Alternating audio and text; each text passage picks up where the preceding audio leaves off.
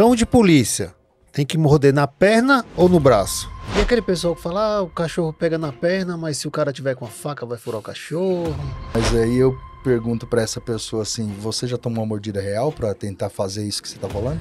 Na hora que o dente fizer assim, ó, tum, Dói muito, furar, só tem duas coisas que você vai gritar. Para uma residência, qual é o cachorro que mete mais medo?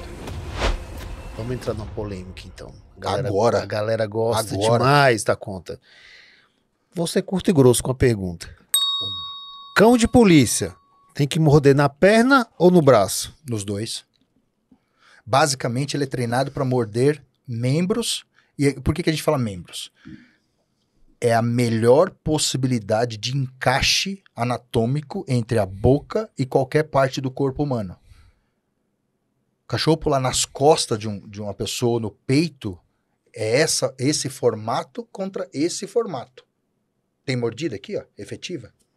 É bater na parede e raspar incisivo. Para ter mordida efetiva, o formato da boca é esse, tem que encaixar alguma coisa aqui. E o que encaixa aqui? Braços e pernas. Ah, eventualmente, nádega, virilha, é, cravícula, o que encaixar na boca do cachorro. Mas treinamento é baseado em cima de morder os membros superiores e membros inferiores. Frontal e atrás.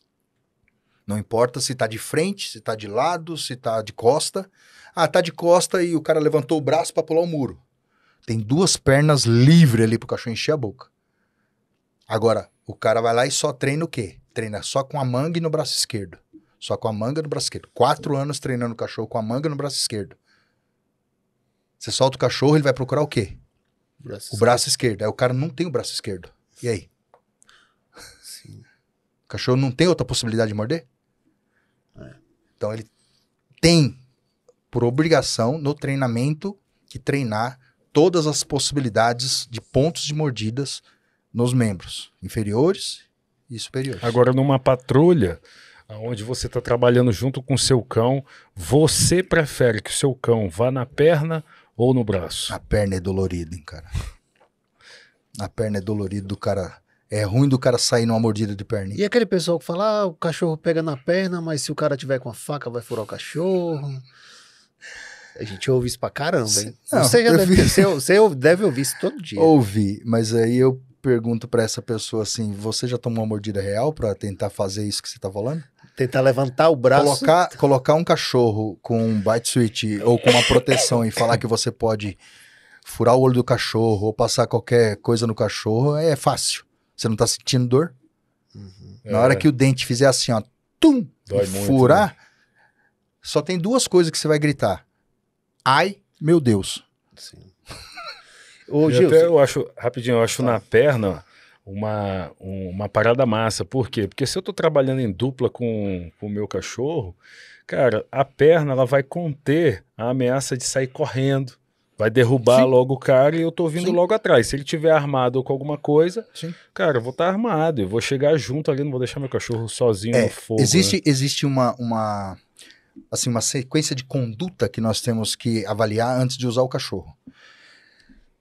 É aquele, quando você fala assim, uso progressivo da força, mas de força proporcional, não é isso? Uhum. Então, indivíduo armado, não cabe uso de cachorro. É, Indivíduo armado é arma de fogo. Arma de fogo contra arma de fogo. É, é proporcional. Ou de- a- proporcional e superior. Show de bola isso aí. Se o cachorro tiver, por exemplo, uma faca também, Não cabe uso do não cachorro. cabe o uso- uso do cachorro. né? Mas, mas ele vai lá e morde. Sim. E ele tomou uma facada e acabou a sua ferramenta.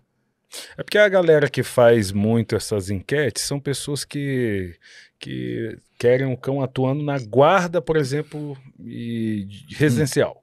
Ah, né? ok. Vamos então. Guarda residencial, nós temos uma outra situação. Nós temos basicamente duas situações. Você quer um cachorro que cause um grande alarme quando alguém chega no portão, ou você quer um cão que efetivamente, quando alguém entre, ele atue e morda. Você tem esses dois cenários. Né? O cenário de um cachorro de um alarme, você vai ter que escolher então um cão com um nível de insegurança maior. Porque tudo que passa ali afeta ele e ele late Sai daqui. querendo repelir. Exato. E o latido vai acordar outras pessoas, vai alertar outras pessoas que vai acionar a questão da, da, da polícia, tudo. Agora, o outro cenário é: eu quero um cachorro que, quando se o cara quer ir aqui pra dentro, ele se dê mal. Aí você tem que se cercar da questão legal, é, notificar ali na sua casa assim, ó, não entre. Cão perigoso. Cão perigoso. Isso está na legislação. É um- uma portaria da Polícia Federal que você tem que colocar ali o Se aviso. não tiver, o cara ainda se, se lasca. se não, se não tiver, você entra na questão dolosa. Sério? Mesmo invadindo o O território. cão ali, mesmo invadindo o território. Aí você quer, você quer produzir o efeito. Quando você avisa, você não quer produzir o efeito. Quem produziu o efeito foi o invasor. Que O cão, isso, nessa hein? questão residencial, ele é considerado ali o chamado ofendículo. Quando você coloca uma cerca elétrica, é não é um ofendículo? Você não quer que o cara morra eletrocutado. Então você vai colocar a cerca e tem- obrigatoriamente tem que ter o quê? Aviso. Os avisos. Agora, na tua Exatamente. opinião, que está acostumado com bastante cachorro de guarda e proteção, para uma residência, qual é o cachorro que mete mais medo? Ostensivamente? É, Ó, tá ali. Eu acho que o cão de guarda tem que parecer ser de guarda, exato. né? Eu Na- quero saber assim, por exemplo, eu morro de medo de Rottweiler. Hum. Na hora que eu olho o Rottweiler, eu, sinceramente, o cachorro que me intimida é aquele cachorro. Só de respirar já faz guarda. Exato.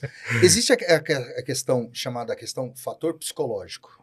Eu, Isso. eu sou Pronto, essa é sou- a pergunta é, que a gente não eu sou meio fazer. avesso a essa questão do fator psicológico. Porque fator psicológico é uma coisa, efetividade é outra. É outra. Você pode ter um cachorro de 60 quilos lá com uma cara muito ruim, muito feia, e na hora que você bater o portão, ele se esconde debaixo da máquina de lavar. Então, fator psicológico, zero. Né? Não, fator psicológico, beleza, mas efetividade, zero. Zero. Então, eu, se hoje for colocar um cachorro na minha casa para fazer a guarda da minha residência, eu quero aquele cachorro predador, aquele mudo. Aquele que quando o cara cair para dentro e bater o olho, ele tá assim nele, ó. Olá. Tudo bem? Não, mas isso aí é uma questão dolosa. Tudo bem? Não, mas tem um Mas vai aviso. tá o né? aviso, tá assim, vendo? Aviso, tem Vai estar o aviso. aviso lá, mas ele tá olhando e fala assim: Oi, coelhinho. Faz três meses que eu não como. Agora, existem raças que, que- Existem raças que já têm essa predisposição a Sim. fazerem isso, Sim. porque Malinois é um latidor pra cacete. né? Sim. Pastor alemão também, Pastor bastante alemão latidor também. e tal. Né? Os E- pitbulls são bem tendenciosos a essa questão da, da ação O predatória. próprio Rottweiler também, né? Rottweiler O também, Cão, cão tem- late é. pouco, né? Exato. Basicamente.